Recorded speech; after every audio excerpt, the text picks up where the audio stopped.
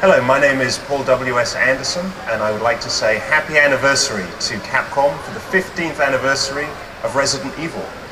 Uh, I'm the writer, producer, and director of the Resident Evil movies, uh, and I'm also, you may not know this, but I'm also probably the biggest Resident Evil game fan in the world.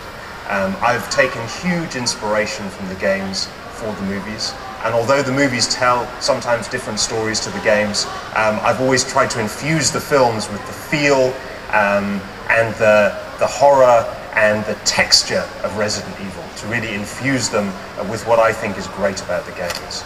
Um, so I've been an avid follower of the games. I've played all of them from the very first game 15 years ago.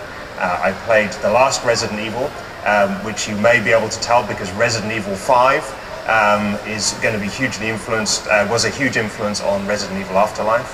Um, and uh, we're just starting to gear up to make another Resident Evil movie, and I look forward to seeing what the next Resident Evil game is like, uh, so that we can be inspired by that as well.